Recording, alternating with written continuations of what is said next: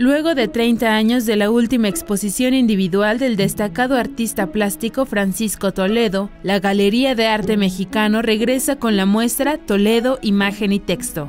La muestra está conformada por 45 obras.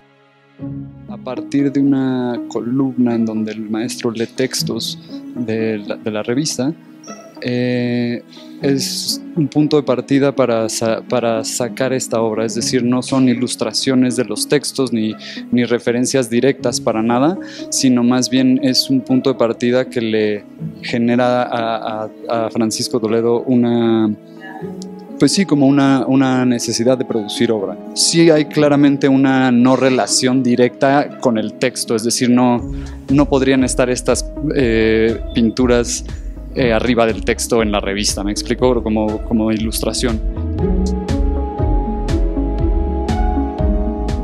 Esto es una, un evento muy especial para nosotros en la galería y creo que también este, a grandes rasgos en la Ciudad de México, porque no es muy común tener exposiciones individuales del, del maestro aquí en, en la ciudad.